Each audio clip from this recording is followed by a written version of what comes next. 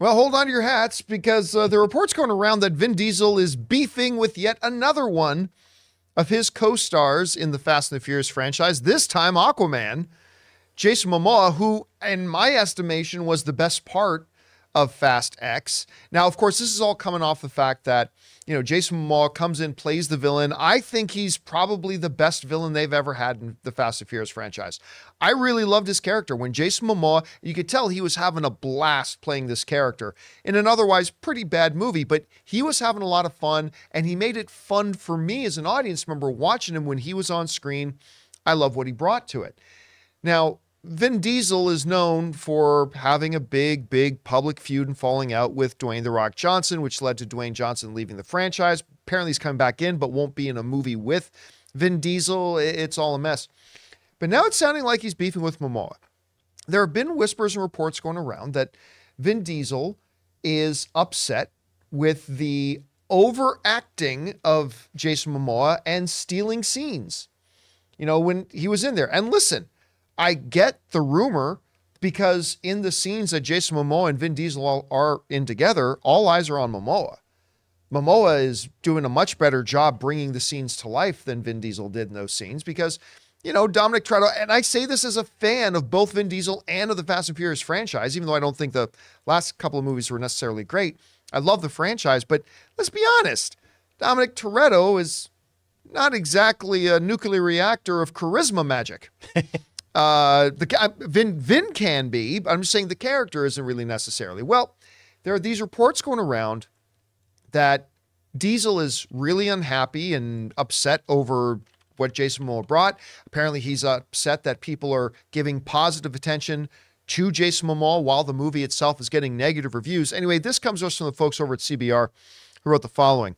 Among Diesel's reported gripes with Momoa's performance was his uh, uh, penchant for overacting and scene stealing when playing Dante, the androgynous, menacing villain opposite Diesel's Dominic Toretto in Fast X. Jealousy is apparently fueling Diesel, Diesel's beef with Momoa, and according to insiders, Momoa is well aware of Diesel sharing these gripes with others. Jason knows he's the flavor of the moment, and Vin's jealous of him, one source said but he doesn't appreciate Vin trying to poison the public against him. This has the potential to be Hollywood's next biggest feud. Currently, Fast X boasts a 54% average critical score on Rotten Tomatoes, with the consensus branding it as irredeemably silly, while other reviews have called out the latest sequel for being too congested and full of itself. All right.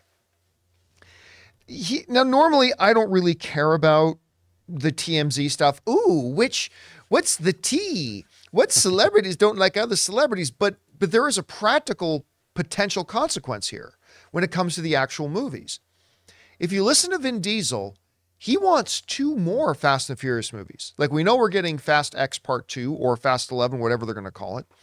But he recently implied that he would like to actually make Fast X a trilogy and have two more films. Now, whether or not they'll get to do that is another question.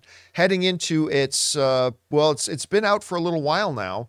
Fast and the Furious Fast X has only made 520 something million dollars so far. Now that's huge for a lot of movies, but when your budget of your movie is 340 million dollars, I mean this movie needs to make somewhere around 750 million dollars just to break even. So I don't know if the studio is going to be greenlighting making Fast X a trilogy or not, but still, if Vin Diesel wants two more movies, he's already had a very very public feud with Dwayne Johnson.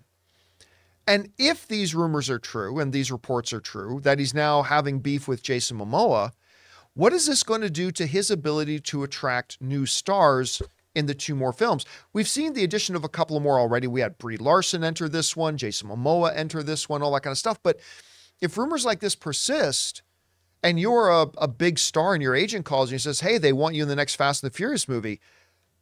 Could there be agents and actors who go, pass. I don't want to become the subject of the next big public feud and beef with Vin Diesel on here, and it sounds like he might be difficult to work with. Now, all that said, I do not believe these reports. I just don't.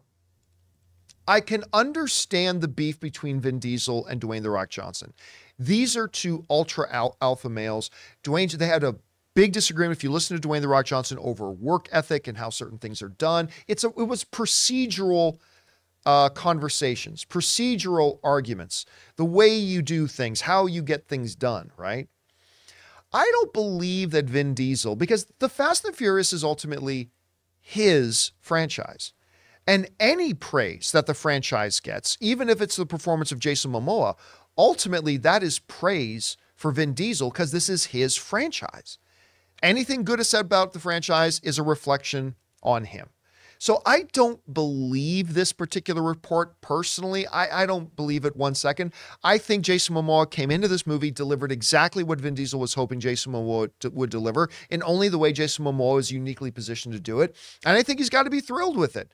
Now, I don't know this for fact. Vin hasn't called me to say, hey, John, those reports of me beefing with Jason or bullshit. Like he, he hasn't he hasn't called me to say that, but I again, it just makes no sense. I don't believe it for whatever because with it getting kind of slammed critically, I would think Vin Diesel right now any praise that the movie is getting, he's more than welcoming it. But anyway, like a sponsor of this video, Mint Mobile. From the gas pump to the grocery store, your utility bills and favorite streaming services, inflation is everywhere. Seriously, make it stop. Thankfully, there's one company out there that's giving you a much needed break. It's Mint Mobile. As the first company to sell premium wireless service online only, Mint Mobile lets you order from home and save a ton with phone plans starting at just $15 a month. You guys know that ever since I switched to Mint Mobile, I've been saving almost 70% a month over my old phone plan. For people looking looking for extra savings this year, Mint Mobile offers premium wireless for just $15 a month. By going online only and eliminating the traditional cost of retail, Mint Mobile passes the significant savings on to you. All of their plans come with unlimited talk and text plus high-speed data delivered on the nation's largest 5G network. Use your own phone with any Mint Mobile plan and keep your same phone number along with all your existing contacts. Switch to Mint Mobile and get premium wireless service starting at just 15 bucks a month. To get your new wireless plan for just 15 bucks a month and get the plan shipped to your door for free, go to mintmobile.com slash Campea. That's mintmobile.com slash Campea. Cut your wireless bill to 15 bucks a month at mintmobile.com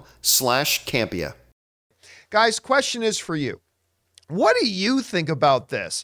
According to the rumors, Vin Diesel is now beefing with Jason Momoa the way he did with Dwayne The Rock Johnson. And if that's true, it could affect the future of the franchise being able to bring in the talent maybe that they want. I personally don't believe the rumor at all, and I've told you why. Do you believe the rumor? Do you think it could have a practical complication on how the future movies are made? Yes or no? Whatever you guys think, jump down into the comment section below and let us know your thoughts. Hey guys, thanks a lot for watching our video. Make sure you click the thumbs up button and subscribe to our channel. And by the way, we do the John Campea Show podcast every day, so go and subscribe to it on Spotify, Apple Podcasts, or whatever your favorite podcasting app of choice is.